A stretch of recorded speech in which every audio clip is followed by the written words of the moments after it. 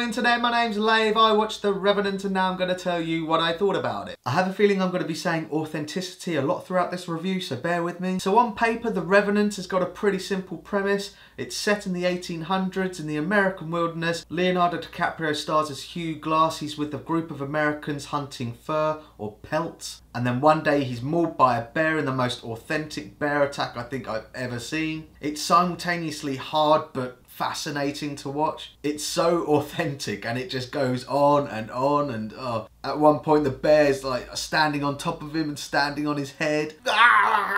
The rest of his crew do try to patch him up and carry him to safety but they struggle with the terrain so they decide to split up. Three stay behind. Those three are Hawk, his son, the good-hearted but gullible Bridger, and Fitzgerald. Oh, he's a bastard. Yeah, that's right, I'm a bastard, but did you know the gotcha squirrel? Events transpire and Tom Hardy's character kills his son and leaves him for dead and then it becomes an epic tale of survival, of man versus nature and man versus man and that's pretty much it although there are some subplots with the Indian tribes, there's some French fur trappers out there as well. Now don't let this simple premise fool you because this film is truly epic in every sense of the term. It's acted really well, I really like Leonardo DiCaprio, Tom Hardy in it is awesome too. They're really going for it. They're acting, acting. In many ways, Glass and Fitzgerald are the opposite sides of the same coin. They're both survivors, although Fitzgerald is more about self-preservation. They both have a history and it kind of feels like one took one path and the other took the other. And Fitzgerald is a bastard, but it's slowly revealed why he's a scarred man emotionally and physically. What you holding on to, Glass? Don't you know the gotcha squirrel?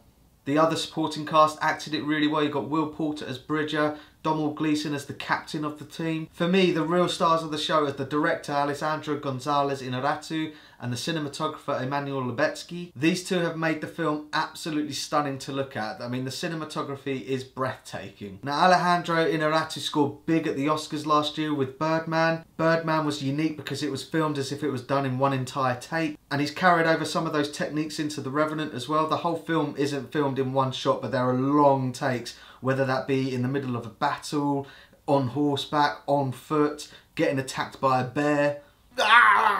What's even more incredible is that they filmed the entire film with natural lighting. It's just amazing. All of those techniques combined with the actors' commitments to their roles just heightens the sense of realism and authenticity. In fact, I'd go as far to say that this film is actually an endurance test. It's so realistic and so authentic. The first hour for me absolutely flew by, a lot goes down, but then the remaining hour and a half of the film does become a bit of a slog. The pacing is not as tight as the first hour and it does feel like Glass goes from one perilous situation to another and then another. The more I think about it, the more I think the director has done this intentionally to make you feel as knackered as the characters. In fact, there's only one moment of levity that I can remember in the entire film when Leonardo DiCaprio's character runs into another Indian or a Pawnee, I think they're called in it. There's a bit where they're just sitting there in the snow and they're both catching the snow on their tongues. But other than that, this film is grueling. And for that reason, I'm not sure if it's something that I'd like to go to the cinema again. I don't know if I could put myself through it. I'm certainly going to buy it when it comes out, but I'm not sure if it's going to have the same effect as being on the big screen. And there were a couple of fourth wall breaking moments.